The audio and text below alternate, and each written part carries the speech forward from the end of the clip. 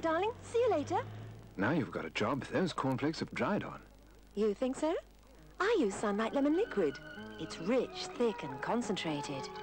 Gives my dishes a fresh, sharp cleanness. Fresh? Yes, Sunlight contains the freshness of lemon. How many other liquids have that? And sharp? You just try it for yourself. Gets those cornflakes off that quickly? That's Sunlight Clean. A fresh, sharp cleanness that really shows.